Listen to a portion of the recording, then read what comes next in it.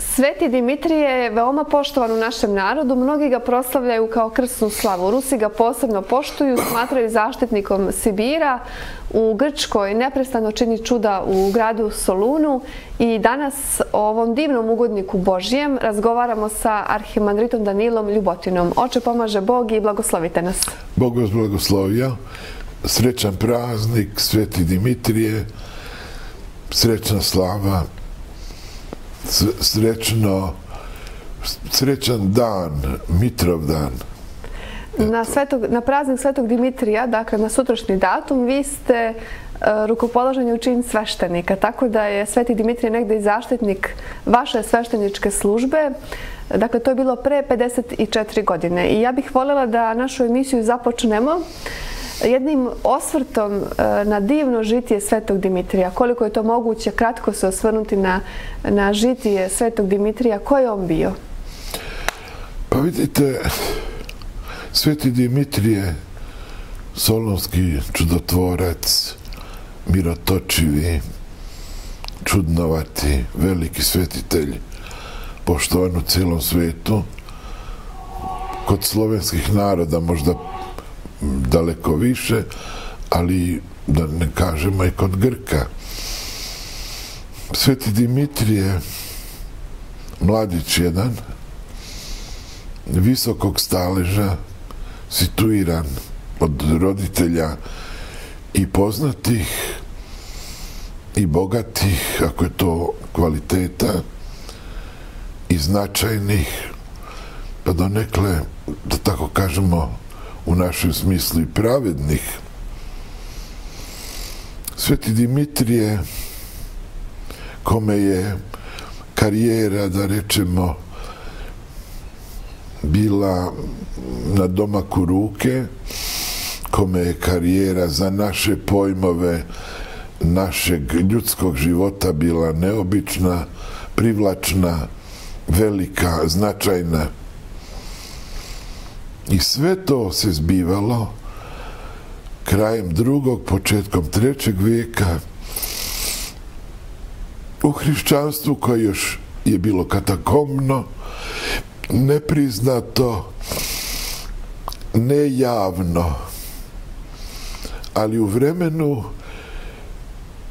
vrlo dubokog, vrelog razumevanja i otkrovenja tajne Hristove tajne Bogova pločenja, tajne spasenja za mnoge mlade ljude, za mnoge mlade devojke, za ljude za koje mi nikada nismo znali, niti bi znali, ali to prosvećenje, shvatanje tajne i smisla života prema životu večnom, njih je dovela u saznanju da ih ceo svet poznaje i da ih mi prepoznajemo kao svetla i svetitelje Božje.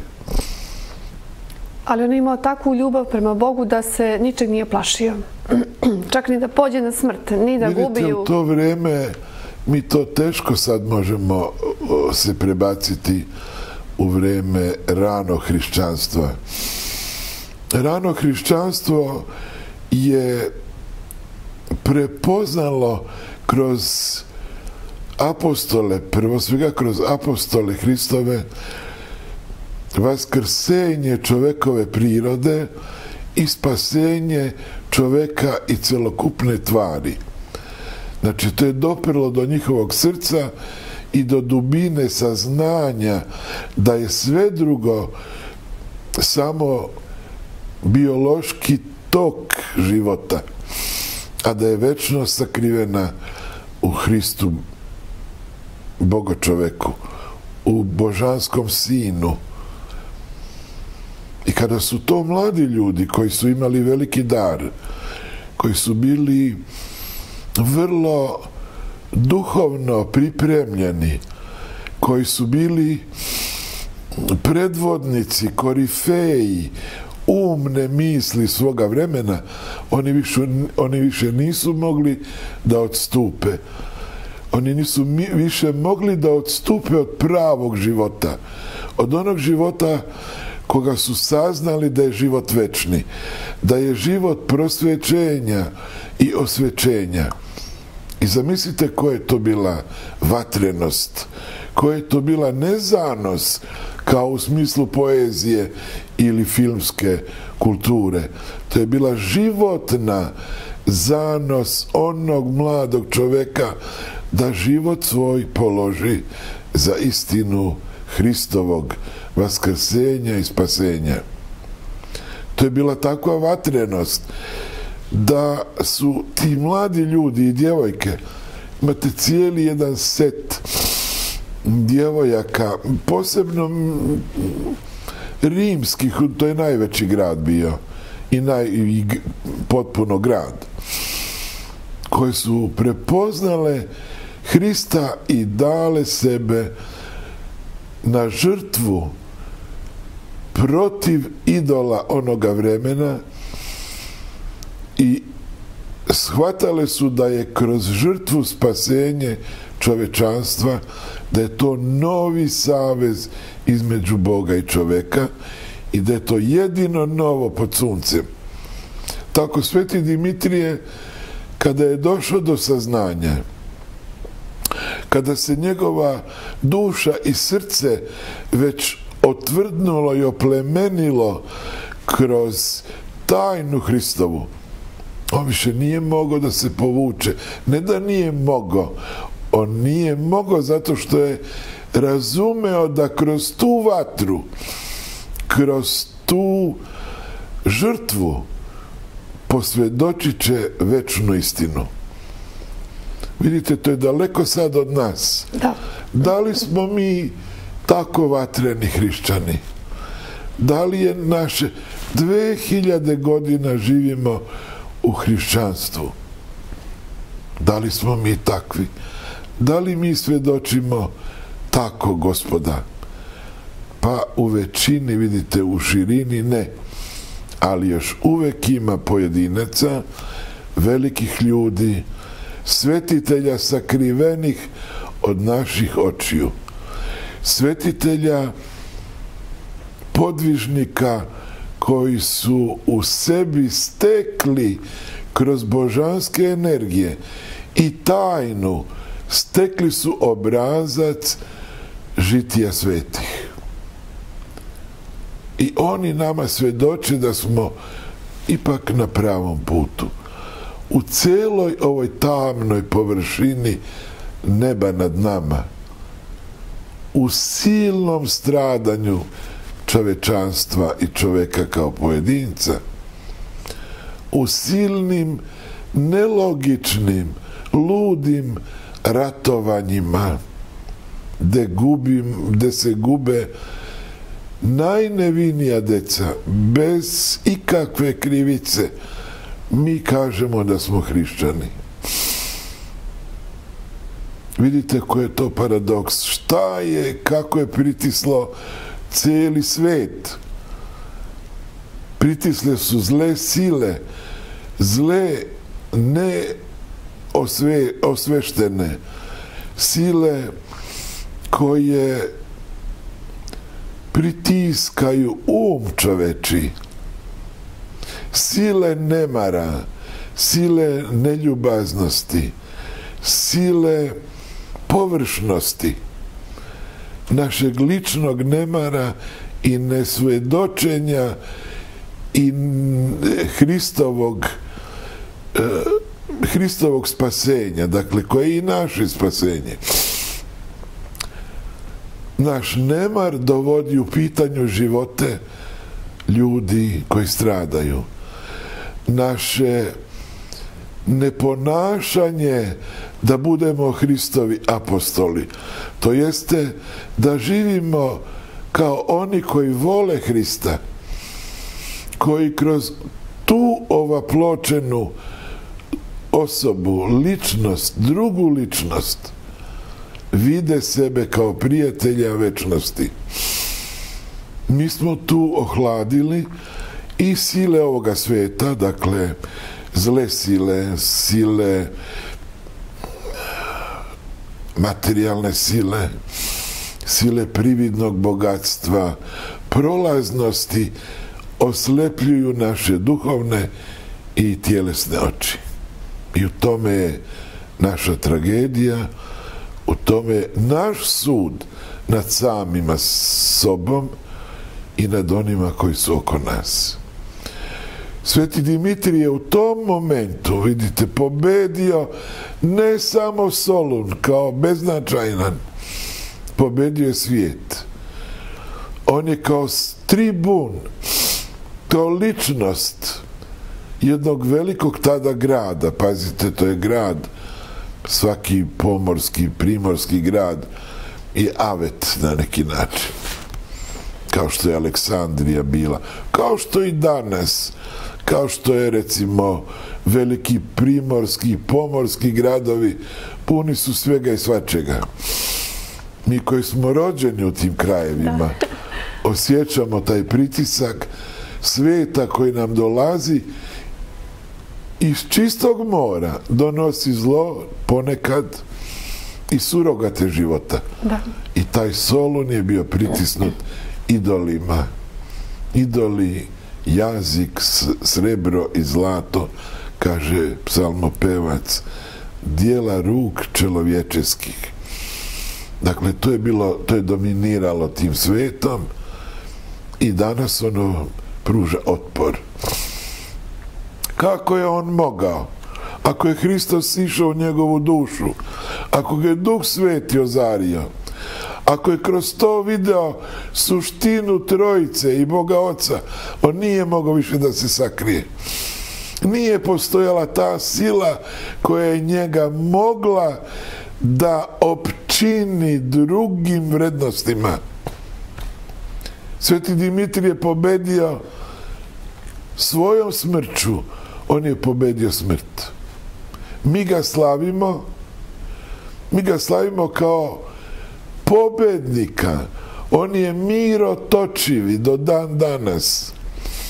Nije on samo zaštitnik grada Soluna, gde na njegov praznik sjati se više od milion poklonika gde je toržestvo koje nadvladava zemaljska toržestva, smislena radost u čast svetoga Dimitrija. Mi to ne možemo postići. Ja sam imao prilike da učestvujem gdje vas ponese i duh i duša i telo prema moštima i sili i svetom miru samog Dimitrija, velikom učenika i pobjedonosca. On je poruka našem svijetu. Mi slavimo, mnogi slave svetog Dimitrija kao svoju krsnu slavu. Ali da li mi shvatamo dubinu događaja šta je to sveti Dimitrije donio? Da li on nama donio samo lepu, složenu i bogatu trpezu? Ne, trpeza je samo dodatak onoj dubini, suštini tajne Hristove gdje se mi moramo sabrati. Taj naš čin kod Srba je nešto savršeno. Nešto neopisivo za druge narode i ljude. Eto, to je, zamislite, nama tako se ne samo desilo, nego se složilo da imamo slavu gde blagosiljamo hljeb i vino kao plodove godišnjeg truda. To je plod godišnjeg truda. Ne, i to je godišnji krug našeg grada. Hljeb je simbolika zarade života. Radiš za hljeb. Znači, taj hljeb koji mi okrećemo jeste plod našeg rada. I to vino koje blagosiljamo, ono veseli srce čoveka, to je ta sim, simbolika možda najstarija opisana u svetim spisima.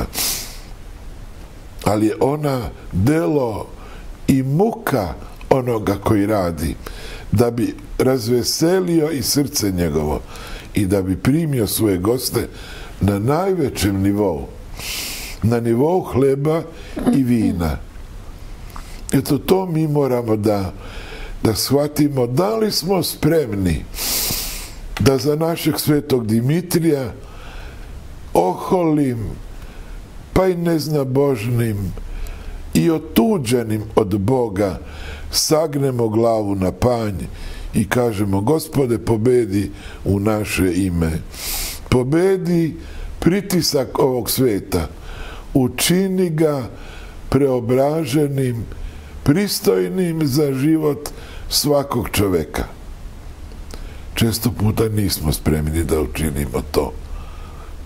Nekada nismo ni svesni koji teret i odgovornost nosimo. Nekada smo spremni da okrivimo druge za svaki greh, a da pri tome nismo sebe u ogledalu videli.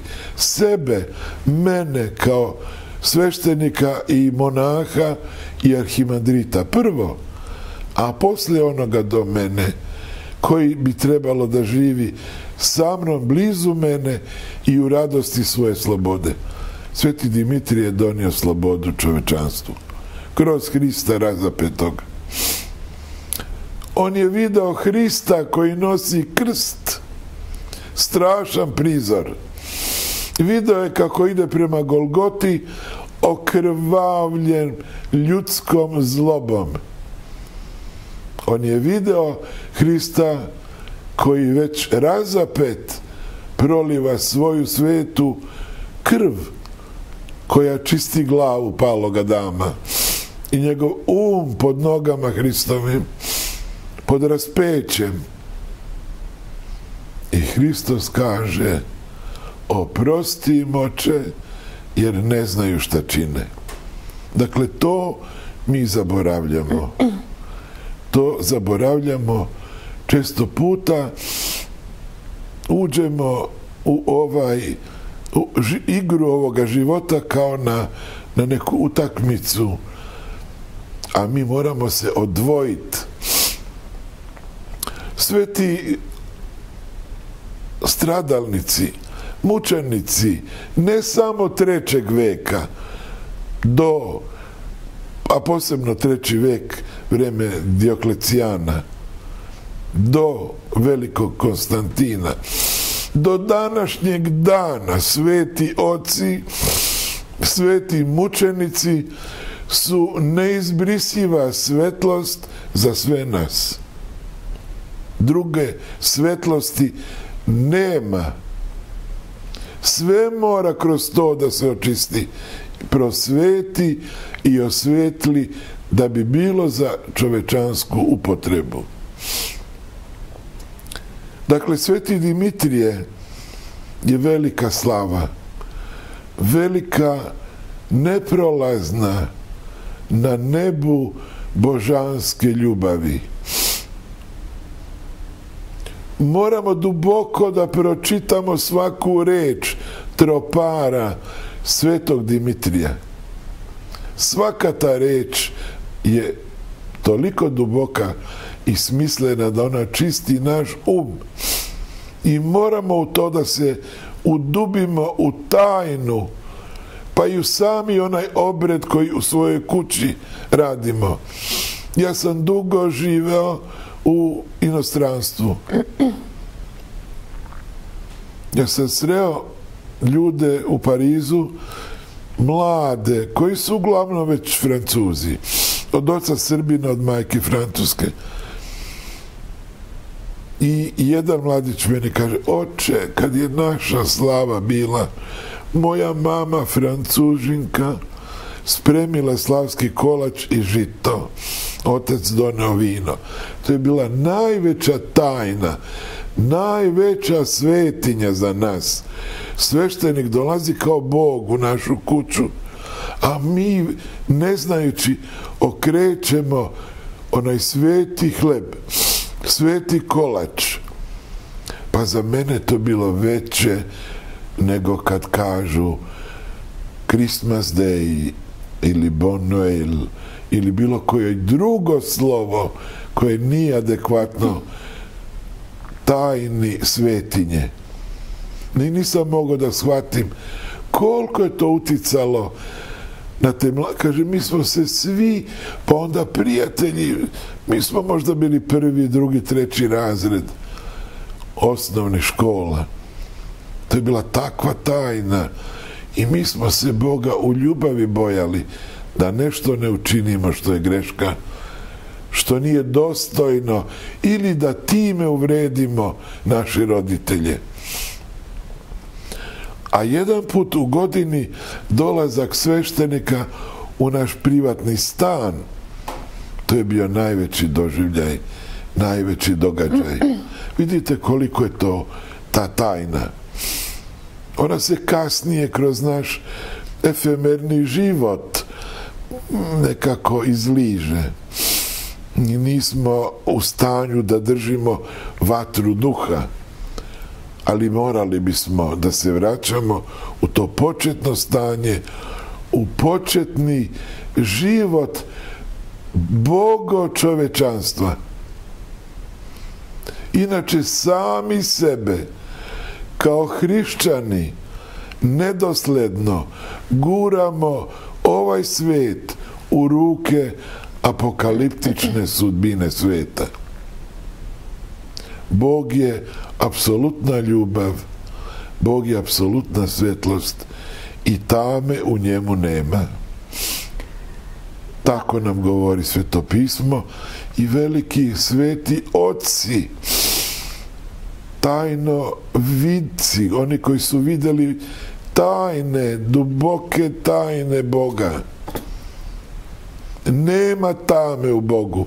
Bog je apsolutna ljubav apsolutno dobro.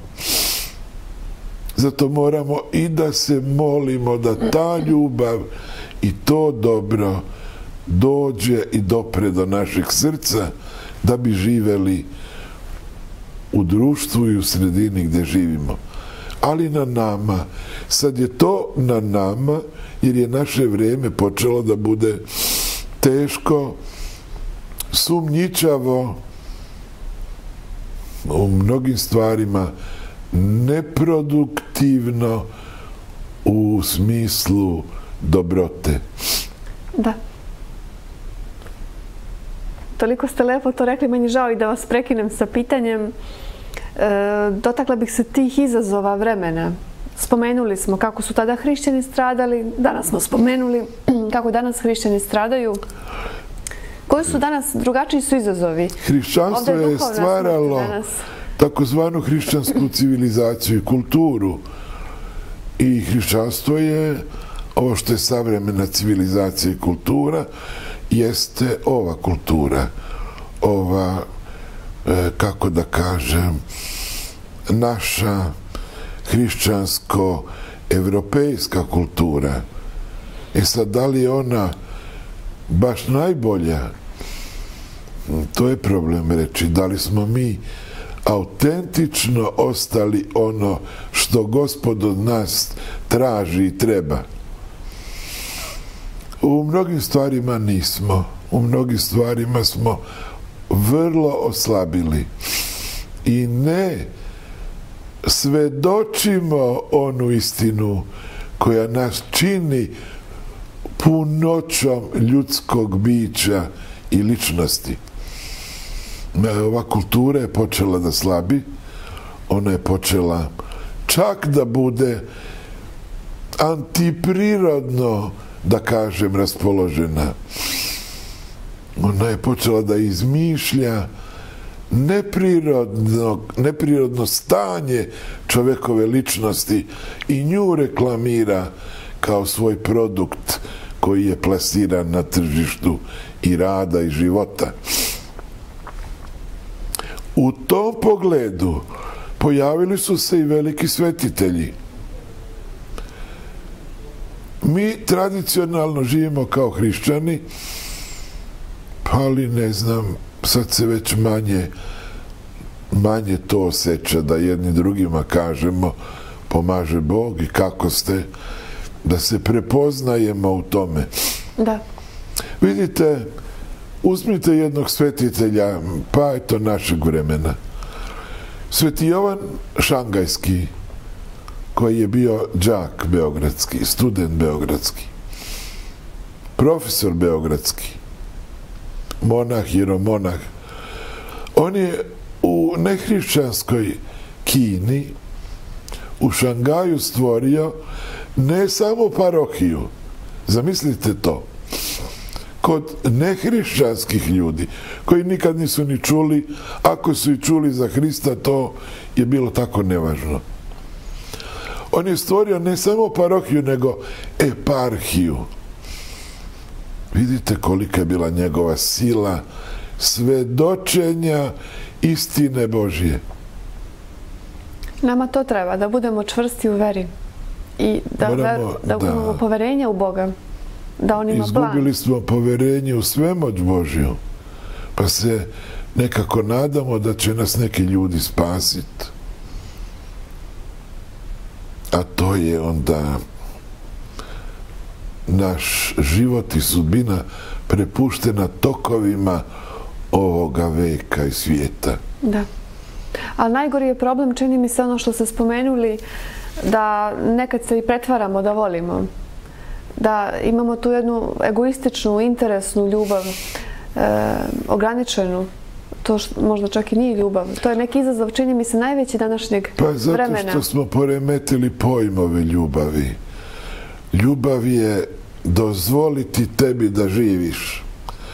Dozvoliti tebi pored mene pored onog drugog u ovom društvu da budeš slobodno lice Božije da budeš slobodna u svojoj duši, u srcu u tvom eh, delokrugu rada da si donekle mali tvorac koji stvara nešto pozitivno nešto jedan kamičak na spasenju roda ljudskoga. U, u toj ljubavi ja nemam pravo da te iz neke ljubavi pojeden kao čoveka, da izjedem tvoju ličnost, da umanjim tvoju slobodu. Ko je to pravo moje? Hristos je otišao na krst da nas oslobodi zla. Pritiska kosmičkih zlih sila pritiska zlih anđela koji su upravo okrenuli lice svoje od božanske svetlosti. Oni koji su nosili svetlost postali su nosioci tame. I ta tama se, nažalost, nekako multiplicira. Ona se kao da se ona umnožava. Da. I nekako kao da naša moć moć vrednosti ako danas govorimo o Dimitriju ta moć je pobedila soluni svet njegova svetlost razbila svaku tamu i ona je pokazala ma, pa nema više ljubavi nego život svoj dati za prijatelje svoje to je Hristova reč ne postoji viši stepen ljubavi ljudske pa čak ni nadljudske, nego položiti život svoj za prijatelje svoje. To jeste voljeti brata svoga, čoveka, onog drugog, kao samoga sebe. To je Hristova reč. Pritom, zadržati svu kvalitetu poimanja suštine ljubavi Božje, koja onda e, e, e, emanira iz ove naše male ljubavi prema bratu čoveku. Ne kao egoistična pojava hoću da te iskoristim jer sam lukavi jer sam bolji manipulator od tebe jer vidim da si ti manje spretna da se braniš od moje lukav, lukavštine vidite, mi smo u, često puta u takvim izazovima. I šta da odgovorimo takvim ljudima, takvim izazovima? Nama je, pazite, hram Boži, to je Nojeva barka. Nojeva barka. Na pučini strašnog mora, na pučini savremenih tsunamija. To je svetinja nad svetinjama. To je slika skinije. Tu je tajna Božja. Mi moramo to da očuvamo kao tajnu. I kada uđemo u prvi deo hrama, moramo vidjeti da li smo ovo sposobni da uđemo u čamac, dakle u onaj spasonosni deo. A kamo li da prljavi uđemo u svetinju nad svetinjama, u oltar, u oltar gde samo sveštenik može da uđe, koji po prirodi stvari i po svom blagoslovu osvećuje nas. Da uđe kroz carske dveri, tu je samo Bogorodica mogla da uđe, kroz čije je carske dveri ušlo spasenje i ova pločenje u ovaj svet. Vidite, sve se to polako gubi, trčimo za nekim profitom u ovom, u ovom svetu i onoliko koliko nam treba, a još više onoliko koliko nam ne treba. Da, to je tragedija tu. Koja je to sada sila hrišćanske ljubavi? Da li je hrišćanska ljubav to da ti prodam neki moj produkt, ba bilo kakav? Ili da vidim možeš li ti normalno da živiš, da dišeš, da ti projavljuješ pročišćenu ljubav koja je od Boga nama data prema sebi i prema onima koji te okružuju. Prema roditeljima najpre. Prema roditeljima najpre. Da li ti vidiš tvoje roditelje kao one koji su uz blagoslov tajne Božije, logosa Božije, tebi dali život u ovom svetu? ili su oni za tebe samo faktor iskorištavanja, izrabljivanja i često puta muka živa. Da li moramo govoriti o ovim temama? Ovo su važne teme, zato što živimo u vremenu u kojem živimo i treba da opstanemo i treba da mi umnožavamo tu veru, nadu i ljubav. Najveće vrline. Danas da. kada slavimo Svetog Dimitrija, mnogi slave Svetog Dimitrija, mnogi slave Svetog Dimitrija, mnogi hramovi u Vasiljeni, po celom svetu. Mnogi Srbi slave krstnu slavu. E to treba da je dan, dan kada mi svetlimo u božanskom prostoru, nevidljivu tajnu mora da svetlimo. Onaj sveštenik koji je došao da ti osveti kolač, on mora da je takav vidljiv i nevidljiv. Kao kupina koja je gorela a nije bila a nemoguće je bila da, da se spali. Kao kupina neopalimaja ta velika tajna tajna čoveka i Boga I mi moramo da vidimo tu svetost koja očišćava naše telo i naš duh. Razgovori toga dana moraju biti u smislu tajne hleba i vina. Tajne našega života. Očišćenja. Ta naša ta naša ljubav koja je e, data u primanju gostiju mora da je čista i svetla u radosti maltene u liturgičnoj dakle u svemu ono što radimo je prinos Bogu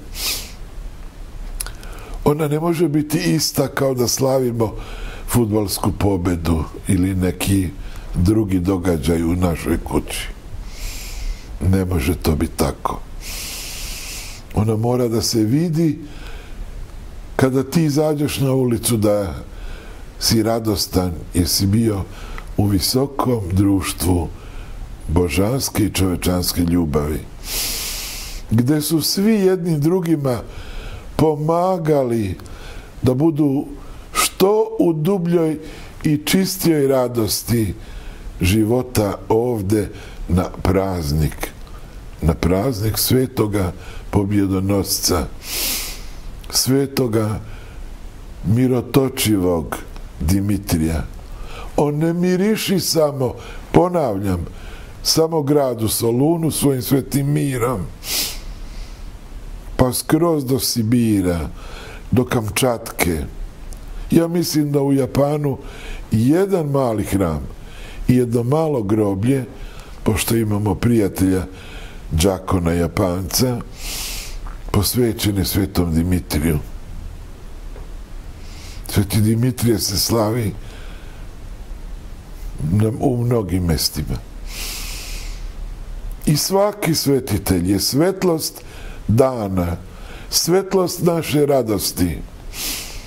Svetlost podjele naših kvaliteta radosti sa čovekom koji strada. Podjele naših kvaliteta sa djecom koje od gladi umiru. Sa onom ženom koja drži svoje dijete u naručju u čije nozdrve ulaze muhe i uši a ona nema čime da ga dohrani i oh, odhrani. I tu je Sveti Dimitrije prisutan. U pravednosti i pravilnosti života. A kažem, to sve počinje od mene. Ja sam na Svetog Dimitrija rukopoložen za sveštenika. To je velika tajna koju nosim 54 godine. Plus, minus, verujem i pozitivno, a mnogo puta i u neznanju.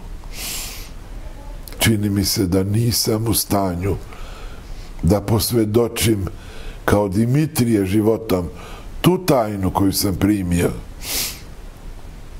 Ali da dođe blagodat pa kažem, gospode, ti sve znaš, ti znaš moju malenkost, ali znaš i silu kojom nosim ovaj teret blagodati koju si ti dao Aronu, Melchisedehu i svima redom do moje najmanje ličnosti u ovom svetu.